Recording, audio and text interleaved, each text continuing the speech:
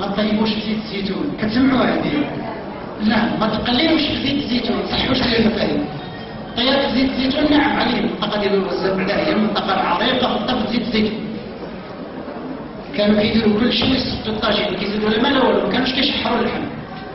ما اللي دخل في استعمار ولينا كنشحروا اللحم. لا حول ولا قوة إلا بالله.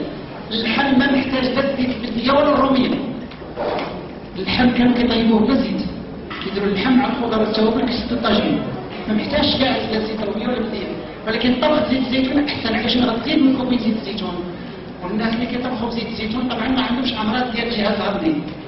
وعندهم الامتصاص مرتفع ما عندهمش هشاشه العظام والانيميا والطبخ البطيء اللي كياخذ ساعتين من التسويع هو الطبخ جيد. والطبخ اللي كياخذ قسمين ولا ثلاثة دقائق هو الطبخ اللي ما كيتهضرش الناس اللي كياكلوا المقلة اللي كياكلوا الفوقوت عندهم ديما كاستريت عندهم ديما مشكل في المعدة. صافي مزيان ياك. دارجة شوية فهمتوها مزيان. ايوا